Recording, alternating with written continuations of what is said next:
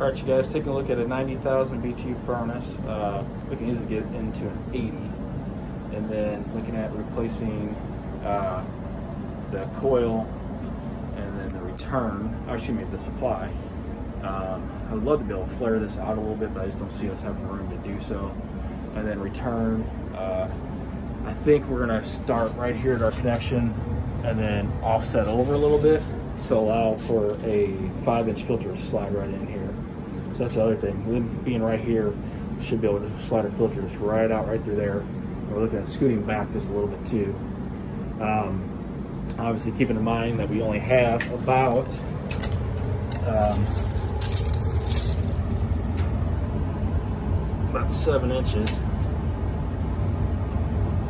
before we're on top of our drain. So we should be good there. We're to gain two here. We're to gain four here. So that puts us at six. So we're to be right on top of it. We're to real close to it. But that's to be our offset over for that. And then, uh, again, like I said, 180. Turn those around. Um, gas piping. I think we could probably just come right in between the two.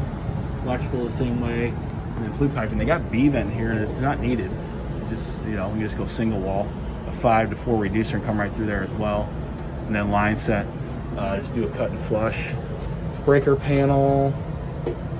Uh, again, do a 40 amp. Oh, I think it's 40 amp for that one.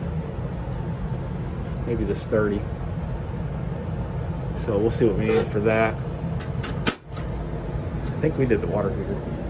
Uh, homeowner said he'd have, you know, the washer out of the way, dryer too if needed, but I think if the washer's out of the way and then we just cover this, we'll be in good shape.